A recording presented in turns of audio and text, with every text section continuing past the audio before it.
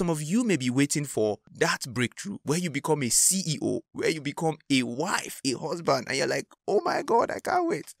You cannot wait though. Please keep doing something now. Actually, keep doing something now. Be diligent in the very little things you have to do.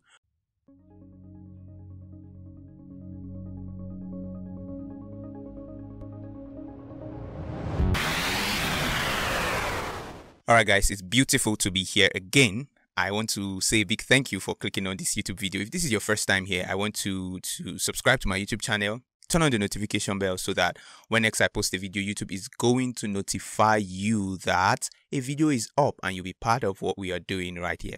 But I want to say a very special thank you to everyone who has subscribed to my YouTube channel. I mean, it's great to know that you are doing this. I mean, we have over 180 subscribers. I mean, that's a lot. And I want to say thank you to my 180 subscribers.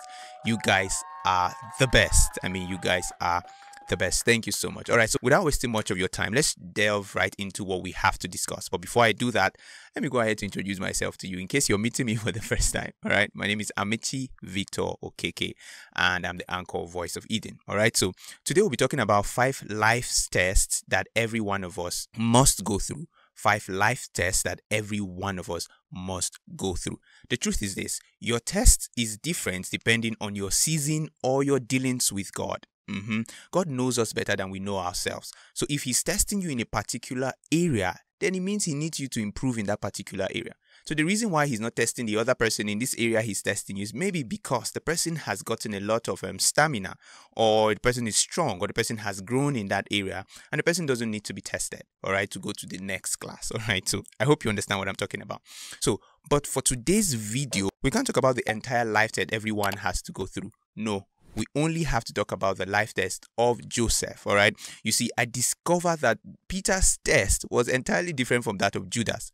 Judas was tested when he had to do with money. Peter was tested in love. You know, Jesus would ask him severally, Lovest thou me more than this? Or before the cock crowed three times, you would have denied me three times. I mean, that was a test of love. But for Joseph's case, I looked at the life of Joseph and noticed that for every point in Joseph's life, he was tested in five different areas. Wow, five different areas. And I want us to look at those areas quickly. Let me say this everything that must be trusted must first be tested before they trust the car, before they send the car out there for buyers to get, the first test is they test the horsepower, they test the brakes, they test everything. In fact, when you take your car to the mechanic, for you to trust that the mechanic has done a good job, you really have to test the car, test the brakes, test the speed, and see how best the car is functioning now that the guy has fixed it. All right. So everything that must be tested or must be trusted rather must be tested. Your faith must be tested if it must be trusted. Your love must be tested if it must be trusted trusted.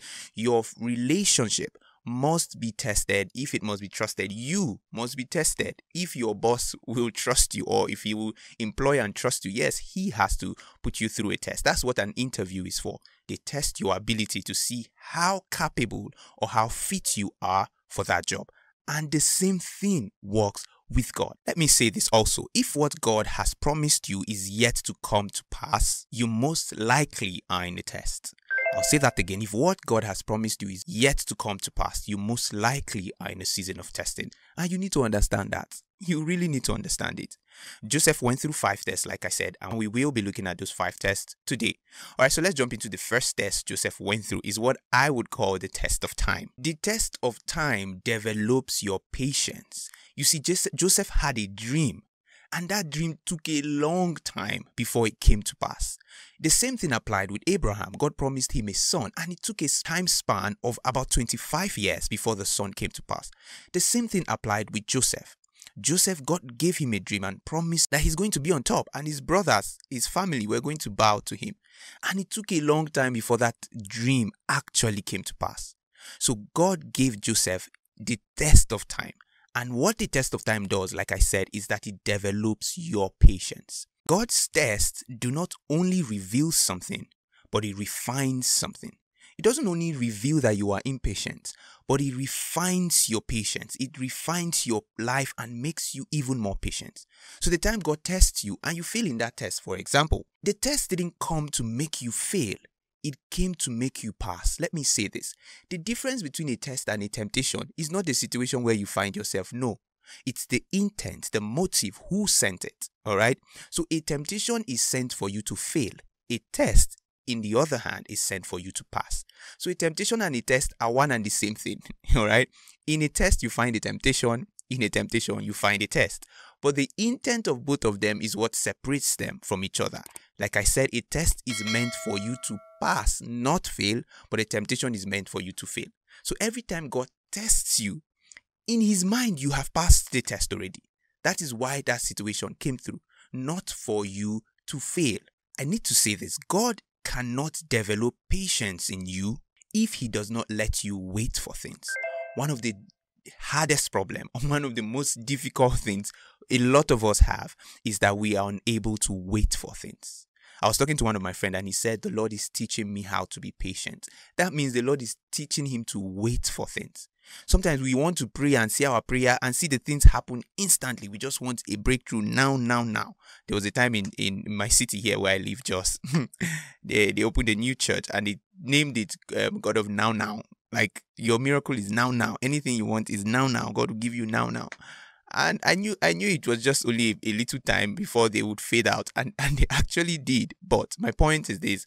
God sometimes want to build patience in you and he would permit you to wait for things. He wouldn't just give you things the moment you ask for it. He would say wait for it. Wait for it. Your answer is on the way. Wait for it. You need to learn to wait. And that was what Joseph did.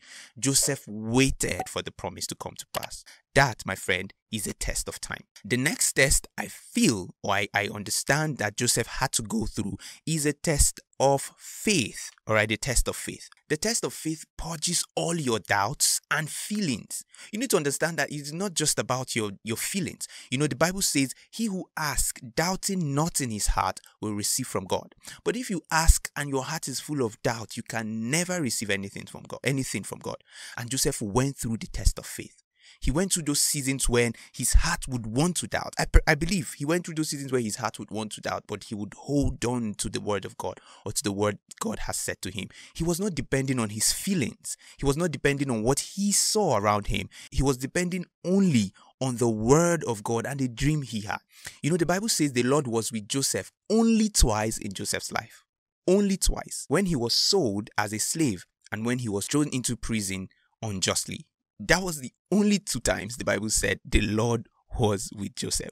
I now know clearly that Joseph actually had to go through the test of faith. God develops our faith by withdrawing his manifest presence. Where you can feel him around you, where you don't even think he's there. You almost want to doubt. You almost don't feel like God is there. Your feeling is telling you otherwise. But you hold on to the word of God. That, my friend, is a test of faith. You see, you can't get the fulfillment of God's promises in your life until God develops your faith by trial. You can't get the fulfillment of God's promises upon your life until He develops your faith by trial. Trial looks like the promise is not coming to pass. Everything around you looks contrary to what the Word of God has said. Do you hold on to the Word of God or do you look for an alternate means? Joseph went through that test. Your faith, real faith, can never be destroyed by trial, it can only be purified. All right. Real faith can never be destroyed by trial. It can only be purified by trial. So every time God permits a trial, every time God sends a test, God sends a trial, it is to purify your faith so that the fulfillment of his promises can come to pass in your life. So let's jump to the third test Joseph went through is the test of purity. Mm-hmm. I can say this way that purity chooses a prison of restriction. It's the pathway through the prison to the palace. You see, the time Joseph determined to stay pure, especially when Potiphar's wife came to um, drag him to bed with her, and he decided to stay pure, the next thing that happened was that he was in prison. And then after that, he went into the palace. Purity is you choosing a prison of restriction, telling yourself, I restrict myself from doing certain things. That is an imprisonment. You see, a lot of relationships have failed because of lack of purity. I'm telling you, if you don't choose to imprison yourself now, you can't get into the palace. Your relationship cannot reach the stage where it is going to get into a palace. A lot of relationships, like I said, are dead today because of lack of purity. I'm telling you the truth. So we need to go through that test. Samson, we know something in scripture. I, I really don't like talking about his story, but I mean, Samson had to go through the test of purity also. And we could tell that he failed it. But Joseph went through that test of purity and he passed. Every young person must, tell me, every young person must go through the test of purity. In your relationship with, with the opposite sex in your relationship with your friends you must go through the test of purity. You must decide not to go to certain sites. You must decide not to do certain things in your closet. You must decide not to think certain thoughts. You must imprison your mind. Keep it lock it up. Say you can't assess these things. You can't go through this way. You can't think certain things. You must tell yourself you cannot do certain things because you are imprisonment. For now for now. I mean, when you get married, you can um, be intimate with your wife, but you can't think certain thoughts about somebody else. I mean, because you are still restricted to certain things. So, purity is a test every young person, every man, every woman, young, yeah, most especially young, have to go through. All right. So, the next test, which is the fourth test that Joseph had to go through, is what I call the test of forgiveness. You cannot be fruitful if you are not forgiven. I'm telling you the truth. Joseph would not have gotten to the throne if he had grudges in his heart against his brothers. He wouldn't have. From the very first day, Joseph said, No, I'm going to let my brothers go.